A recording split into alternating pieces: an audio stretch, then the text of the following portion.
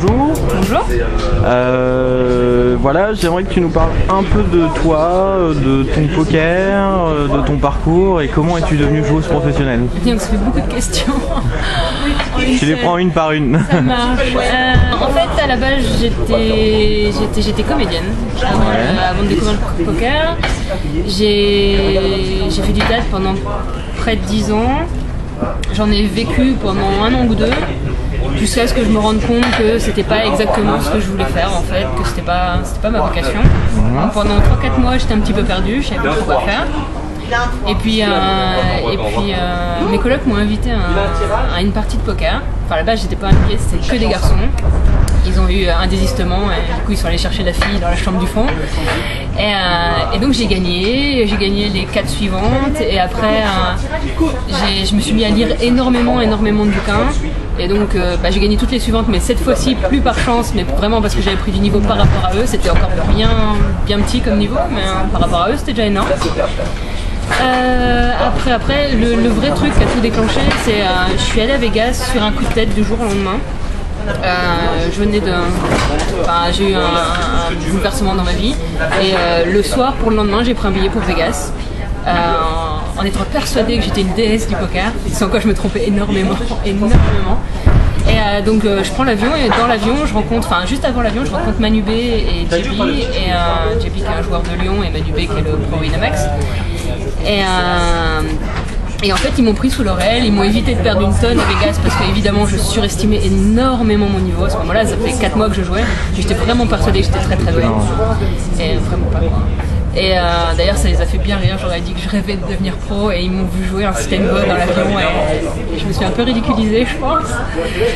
Et, euh, donc voilà, ils m'ont pris sous l'oreille. En revenant à Paris, ils m'ont présenté beaucoup de monde et, euh, les choses sont enchaînées. Je travaillais pour le Poker Radio, après pour des magazines. J'ai présenté le PT. Les choses sont enchaînées après. Et j'ai bossé mon poker et je suis devenue meilleure.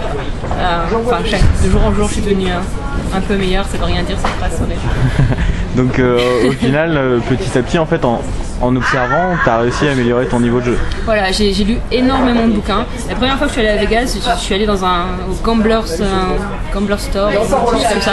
J'ai acheté une vingtaine de bouquins. J'avais une soif d'apprendre vraiment terrible.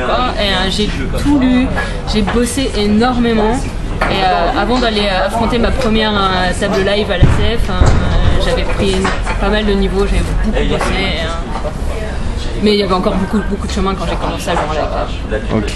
Donc euh, là, on est à Deauville. Qu'est-ce que ça représente pour toi, Deauville Voilà, c'est vrai que c'est mon premier EPT. Euh, j'ai joué pas mal de gros tournois, enfin j'ai joué 2000, des 2005. Et là, c'est mon plus gros tournoi et surtout c'est mon premier EPT, donc ça représente vraiment énormément. C'est un, c'est un peu un. Je joue demain là et c'est un peu comme la veille de Noël. Là. C'est un, je suis assez, euh, je suis assez- vraiment contente, je suis très excitée. Et, euh, et je suis un peu effrayée aussi puisque demain le field va être beaucoup plus difficile qu'aujourd'hui a priori puisqu'il y a beaucoup plus de, de pro pro qui jouent demain. Donc euh, bon, on verra. hein.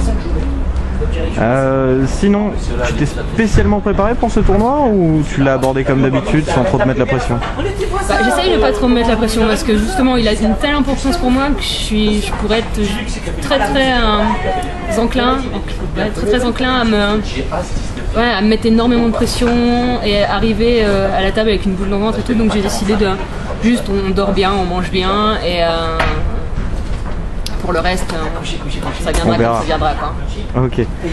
Donc, euh, t'as un planning pour cette année spécialement ou pas du tout? Bah pour l'instant, là je me suis installée à la, à la 5-5 de la CF, donc je joue quasiment tous les jours et j'essaye de jouer à des heures correctes, c'est-à-dire pas la nuit et pas trop le week-end, l'après-midi. Et euh, pour les tournois, ça va dépendre de beaucoup de choses parce que bah, les tournois ça coûte cher et même quand on joue haut en, en cash game, ça reste très cher et c'est au niveau du management de bankroll. Les tournois à 5000, euh, enfin, enfin, c'est pas trop prévu quoi. Donc, euh, donc on va voir, je vais faire des qualifs pour pas mal de tournois je pense. Et euh, j'espère que je vais réussir à me faire stacker pour d'autres. Enfin. Donc, euh, je voulais revenir, euh, je voulais revenir sur ton FPT. Tu peux m'expliquer ce qui s'est passé au FPT ou pas? Ah, c'est dur le FPT, j'en souffre encore. Euh, bah, le premier jour, enfin la, la- la première partie du premier jour s'est très très bien passé. J'étais chip leader, chip leader pardon, pendant, euh, pendant quasiment tout le D1.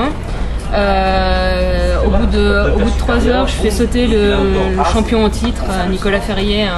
On les as contre les rois, c'est pas c'est pas glorieux comme coup, c'est juste la config quoi. C'est classique. Ouais, mais, mais j'avais monté, donc il a 18 000 à ce moment-là, moi j'ai 30 000. Donc j'avais déjà monté, j'étais passé de 10 000 à 30 000 en, ouais, en 3 heures, donc déjà c'était vraiment bien passé et sur des moves, sur, enfin vraiment tout se passait nickel. Quand, quand je bluffais, tout le monde collait, quand je value bêtais, tout le monde collait, merveilleux. Et euh, lui, je le fais sauter là-dessus. Donc voilà, en fin de journée, j'ai perdu pas mal sur un bluff qui n'est pas passé. Euh, et, euh, et, juste après, j'ai fait un call un peu litigieux. Je pense que j'ai collé surtout un, en enfin, je pensais que c'était à ce moment-là, on n'a pas envie de jouer un 50-50 avec autant de jetons, on n'a pas envie de jouer un 50-50, ça n'a aucun intérêt. Et j'ai quand même décidé de le jouer euh, parce que parce que j'avais envie de récupérer les jetons d'avant le bluff. C'est très très mauvais. Enfin, je l'ai pas raisonné du tout comme ça, mais après réflexion, au bout d'une heure ou deux, je me suis rendu compte de ça et une grosse erreur. Et, euh, parce qu'encore une fois, quand on attend de jetons, euh, ça sert absolument à rien à ce stade de tournoi de faire un 50-50. Le lendemain, j'arrive avec 24 000 jetons. Je monte vite à 36 000 euh, en, surbluffant des, petits joueurs qui veulent, enfin des, joueurs euh, pas des joueurs pas connus qui, sont qualifiés et qui, ont décidé de bluffer la fille à table.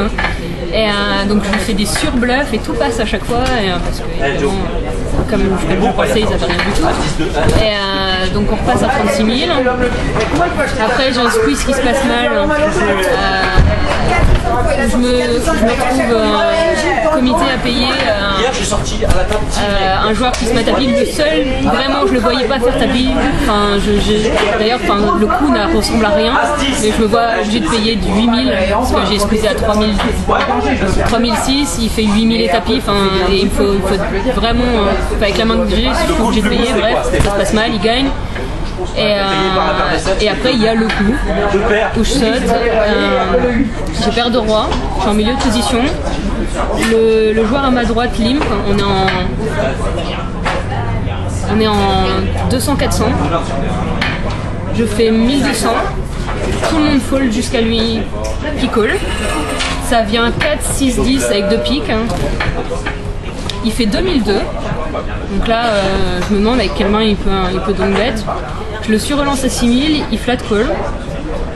Euh, vient le 4 de cœur au, turn, il fait 6000.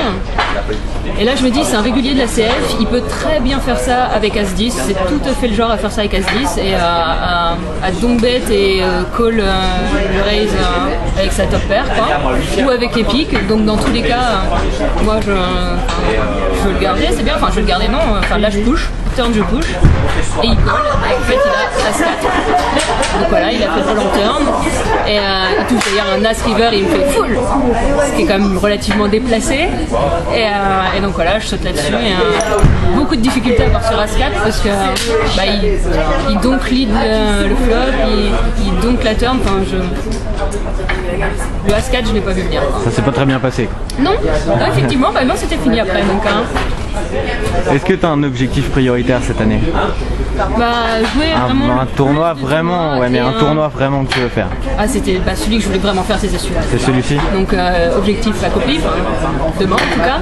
Et euh, celui-là j'ai vraiment envie de le faire l'année dernière. Je suis venue en tant que journaliste. J'ai commenté le PT Live.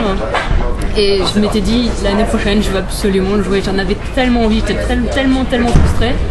Euh, donc là, on va le jouer. Euh, mais on compte en faire bien d'autres. Euh, on va essayer de le faire. Ok.